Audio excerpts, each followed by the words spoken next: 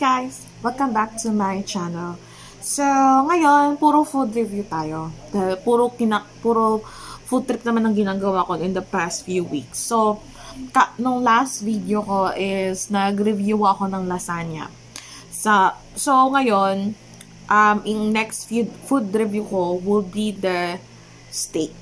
Steak review na hindi naman mamahalin to um, sakto lang sa budget kasi hindi naman ganin, ganun din na um, kasi uh, expected natin if you're going to buy a steak it's more than 500 plus but this is average price.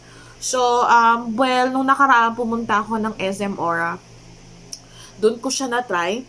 And doon siya sa na-try ko siya doon sa may food court sa taas um, in the fifth floor if not, I'm not mistaken.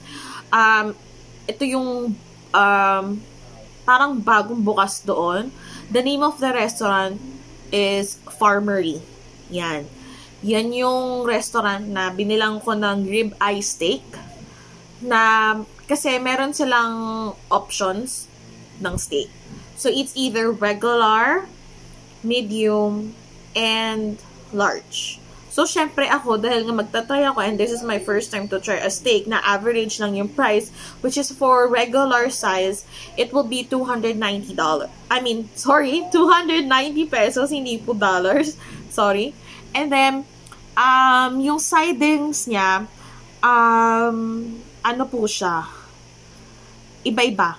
So, you have choices. So, it's either mashed potato, um, pasta, rice, wedges, and yun lang yung natatandaan ko. Salad. Yeah, yun pa. Salad pa pala. So, yung first tikim ko siya, um, I tried with the potato, uh, mashed potato. Well, masarap. Masarap yung mashed potato. Um, it tastes like beef din. Like the um, rib eye steak. At sobrang lambot nung steak. As in, kahit kunyari may butas ka sa ngipin mo o may sirang ngipin mo, kaya mo siyang ngayon. As in, sobrang lambot. Kasi hindi ako kumakain ng medium well, medium rare, or neither rare na pagkaluto ng steak. I always choose well done. Because as a Filipino, we also choose well done. Gusto natin ng lutong-luto. Ayaw natin ng ng hilaw. Kasi ang lasa um, well, I'm, eh, hindi, hindi din ako sanay kumain ng, ng fresh na meat. So, I choose well done. So, yung first nga, yung first na, na tinay ko yon is I choose, um, what you call this? Mashed potato. Yung mashed potato niya hindi dry. Hindi rin masyadong malabsa. Saktong-sakto. Uh, kung pagko-compare siya sa ibang mashed potato na alam ko at nakain ko at na-try ko na is which is KFC which is masarap din um, honestly, wala siyang gravy. Ang magiging gravy mo, yung sauce mismo ng steak. Kasi si mashed potato po kasi yung para magiging kanin nyo sa steak. So, masarap siya, in fairness. Lasang beef din. I don't know, eh, syempre, siguro dahil katabi yung steak. Pero masarap yung mashed potato. It's not dry at all.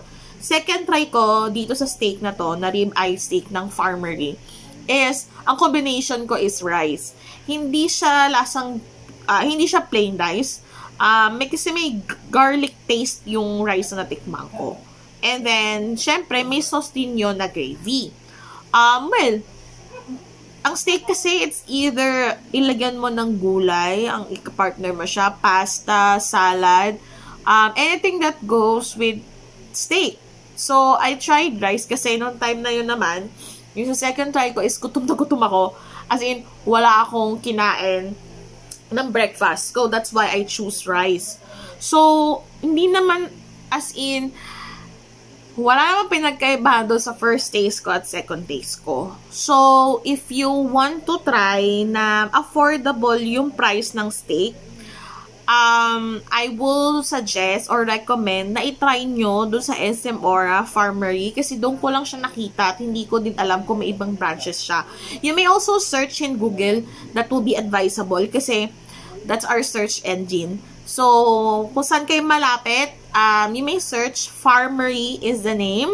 I will just put here in the um, down below screen yung pangalan para malaman nyo na kung ano yung spelling ng Farmery o anong itsura niya, logo na lang ilalagay ko.